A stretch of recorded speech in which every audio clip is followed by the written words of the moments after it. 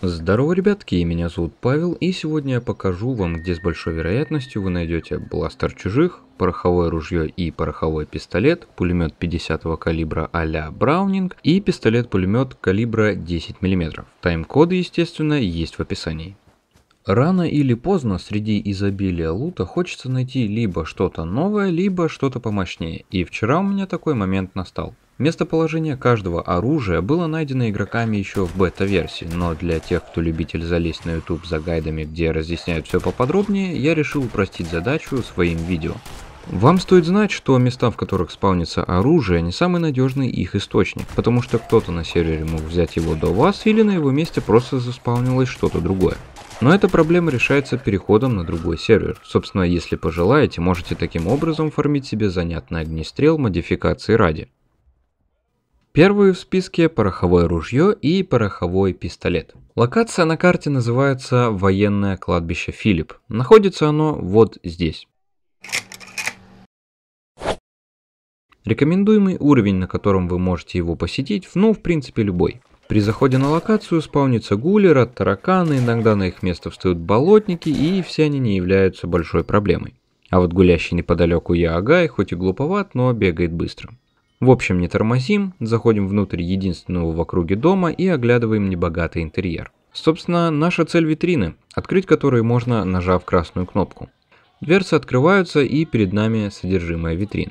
В них может лежать пороховой карабин или пороховой пистолет, патроны к ним, одежка воинов южан или северян, а также цилиндр, ну или всякие золотые безделушки. Выглядит ее добро примерно вот так и имеет неплохие характеристики. А если вы еще прокачаете перки на неавтоматические карабины или пистолеты, то из малобронированных целей можно будет выложить дорожку к новым уровням. Следующий на очереди бластер чужих. Честно говоря, придется немного заморочиться, ведь патроны для него, однако, в дефиците. Для начала нам нужен сам бластер. Вот локация и место, где вы можете его найти.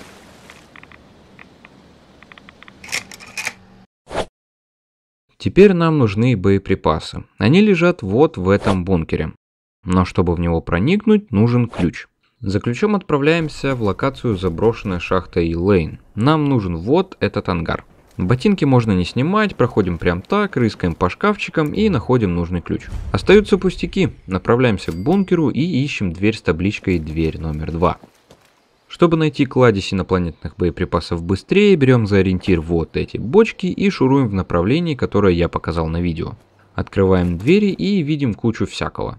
Тут вам и патроны, правда в небольшом количестве, и костюм защитный, и медицина всякая. В общем, если вы хотите больше боеприпасов, перезайдите на сервер и просто возьмите их еще раз. Честно говоря, не могу предостеречь вас от опасных мобов на пути, потому что сам ни одного не встретил. Может повезло, но лучше всегда быть наготове. Так, пулемет калибра 50. Добыть его очень просто. Есть парочка мест, а точнее грузовиков, в которых пулемет лежит, ржавеет и ждет вас. Первый такой уже непередвижной тайник с оружием можно найти рядом с винтокрылом, что нашел свою судьбу недалеко от Хемлок Холлс. Будьте осторожны в этих местах, графтонское чудище, матка болотников, снелегастер или все это вместе. Впрочем, идти на пролом или обойти мутировавших носителей конечностей с неплохим уроном в ближнем бою решать вам. Ориентир, как я и говорил, винтокрыл. Рядышком грузовик, в грузовике пулемет. Все просто. Пошли дальше. Двигаем к дороге, которая недалеко от лагеря скаутов-пионеров. Становимся в направлении, которое показано на видео, и идем до грузовика, в котором нас ждет пулемет. Выглядит он примерно вот так. Его характеристики без перков вы видите на экране. Далее пистолет-пулемет калибра 10 мм. Модификация имеет большое количество и патроны на него вещь доступная. Оттого это на первый взгляд пуколка вещь очень занятная. Достать его очень просто, нужно пройти в скрытую локацию под зданием переработки пищи Мама Дольче. Для этого заходим в здание, поднимаемся на второй этаж и берем пропуск-карточку. Затем спускаемся и выходим через дыру в стене. От нее направо до люка и по трубе в ту самую скрытую локацию. Внутри вы можете встретить парочку роботов, но они не создадут особых проблем. Спускаемся вниз так, как показано на видео и находим терминал, запертый на первый level.